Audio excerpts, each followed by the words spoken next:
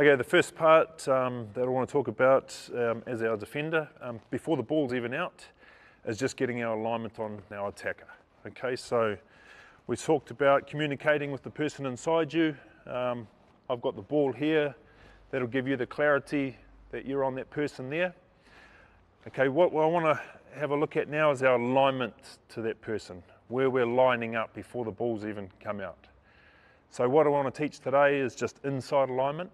And what that would mean is inside the attacker's shoulder, inside this, this shoulder here, their inside shoulder. So we're lining up inside that.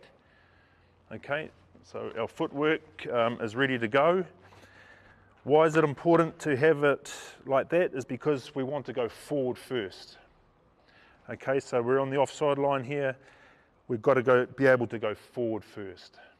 Okay, if our feet are facing in this way, we're going to take step that way. If we're flat footed, we could go sideways or, or back. We want to be able to take that, that step forward first. Okay, so we've got our alignment. You're happy with that on the inside shoulder. You're pointing. You can see the man that you're after. Okay, so tactically, um, one of you spoke about taking the time and space. So we can do that when the ball's in the air.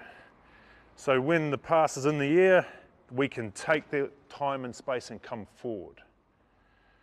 Okay, if we just go back. So we're happy with our alignment. He's only really got one way to run. Okay, so if we just pass, come forward, that step forward, and we get into that space there. Good stuff, boys, right to the ground.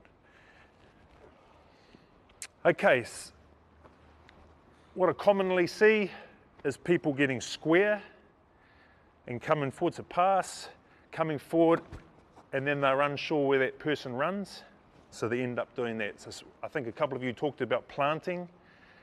Some of you were really positive in your in your um, language, and you wanted to be on your toes. Fantastic. Okay, so we've got our alignment. Give them one way to go. So just pass the ball one way, and that way I'm controlling the space. As an attacker, they want to run to the space, and I want to control that as a defender. Okay, so just go again. So inside alignment. So if you step back, where are you going to go now? If you step back, you're going to go straight into where I'm strong. Okay, if you go open and I can see that, still going to run into a strong shoulder. Okay, it's by giving them one way to go. Okay, so we've got our alignment. Where are you looking? Where do you want to be looking? It is core. So what does that mean?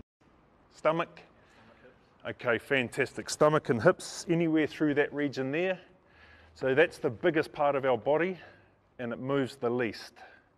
So that's a great place to be looking. Feet can go anywhere, hands can go anywhere, head, lots of movement there. But if we just keep focusing, get our alignment, keep focusing on their core and on their hips, and you can point and you can come forward. So just walk into that space. Okay, pass, just hold. Still looking at their core. Great. So if we go forward, where should we be looking at the core once we get into that last few steps? Just go back. Where should you be looking? Where do you want to be? You're looking at that side, in the middle, on that side? Uh, okay, in the middle. Great, so looking at there the whole way through, keep coming forward. Okay, hold there. Where do you reckon he could be looking? Why? Yep, keep driving through. Just go back. When do you want to dip? Before, so if you dip now, come forward, and if you keep looking down and he changes direction, can you see that happening? Okay, great. So just as you're dipping, I see a lot of people dipping and putting their head down and eyes down as well. Okay, so we want to keep our eyes up and keep looking forward. So if you keep looking at that hip, that core, just walk in, dip, and keep your head up, head up, head up, head up. Great. So what can he see? He can see late movement, late changes, um, and he keeps his eyes on the target where he wants to hit. We've covered our alignment, giving them how many ways? One way to go.